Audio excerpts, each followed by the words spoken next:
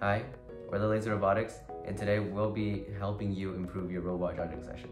We will be presenting our robot presentation, and along the way, be giving you some advice on how to improve your judging sessions.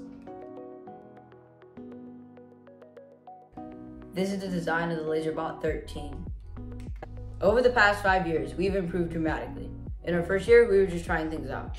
Our robot was based off a tutorial model, it was non-modularized, it was tall, bulky, and it was not balanced. This is our very first version. In our second year, we were progressing. We had made modifications of popular design, we have a more symmetric and balanced robot, but we over-engineered the ports. This is our third version. In our third year, we were great. We had, our robot was completely original, extremely compact, and allowed for easy drop-down attachments. It also had hidden wires. We won first place in the Robot Design Award in qualifiers and states. In our fourth year, we were perfecting. Our robot had relentlessly improved. It was tall, had a higher center of gravity, and we won the states in robot game and qualifier. This is our 11th version. This year, we are exceeding. We have improved stability, we have lowered the center of gravity, we have a systematic evaluation of our robot design, and we won the qualifier and states. This is our 13th version. With each iteration, we learn from the designs of inefficiencies of the last to improve the next. Our robot is a perfect 17 by 18 square. The wheels are as thin as possible, and it's also as compact as possible while still maintaining stability. It's durable, without sacrificing space, no wires show, and it has a symmetric design. We have two color sensors for better field navigation, six points of ground contact for stability, flat sides, and weight on the back to help balance out attachments. A robot is very efficient for multiple reasons. Some of these are that our attachments drop on using gravity and are secured by using upward facing axles. Setting up in the launch area is really easy because of our square shape and our motors face up, making it easier to transfer power. Our gears also lock into place instantly using upward facing axles. As for our attachments, we use as many passive mechanisms as possible and we create our attachments in a way that uh, utilize the 360 degree capabilities of the robot. We have gears that lock into place and our motors are used for multiple things. We also use a lot of linear motion to solve missions.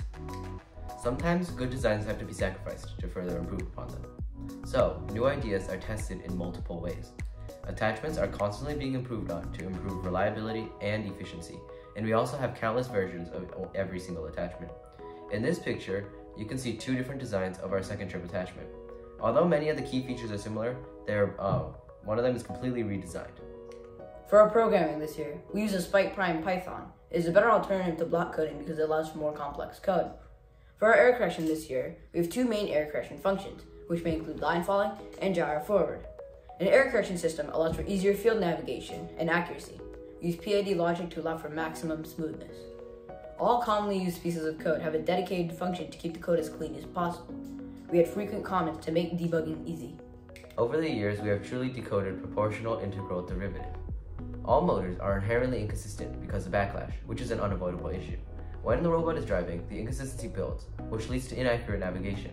PID is a universal and flexible error correction logic. Proportional means the bigger the current error, the bigger correction. This is the most commonly used and well understood piece of code.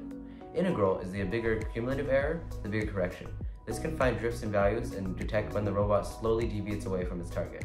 Derivative is the bigger change of error and the bigger correction. This will react to sudden changes and outliers in data. We can fine-tune these PID parameters to suit our needs. Over the past five years, we've learned that our robot may look good but not function efficiently. So we run important aspects of the robot navigation 10 times each, which may include line following, turning, moving straight, every time with or without attachments, and at different speed levels. We record a pass or fail on an Excel file, we calculate that percentage of success, and use that percentage of success, uh, success as a performance score. We use this score to pick the most practical and consistent option, which can either be hardware or software. For mission strategy this year, we tried to leverage line following as much as possible and reduce travel distance to reduce time. In the end, we completed 5 trips, 15 missions in 2 minutes and 30 seconds with a high score. We used a lot of passive mechanisms this year, which are mechanisms that preserve as many motors as possible and use the motion of the robot to, and gravity to power missions. We use these to complete more than 2 missions in every trip. We also use a lot of one-way doors, which are a type of passive mechanism. We use one-way doors to, to lock onto objects or missions without the use of motors, and we use this as an easy way to bring up or drop off units around the map. For alignment, we use alignment mechanisms to align with the basis of missions for accuracy.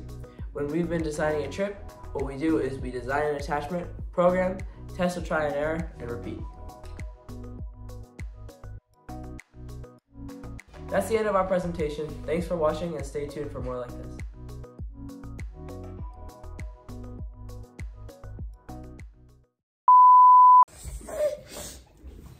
Jerry, where is my family?